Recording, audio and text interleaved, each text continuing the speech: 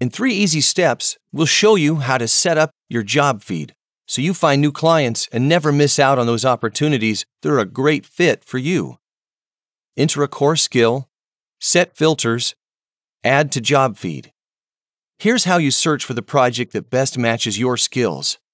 From the Find Work tab, use the search bar here or here to enter one of your core skills. When clients post new projects, we categorize them by skills and areas of work, so the more specific you can be with your search terms, the better. Use these filters on the left-hand side of the search results page to refine the selection. Narrow your search based on the category, subcategory, and job type. Most importantly, find projects matching your desired rate by using experience level.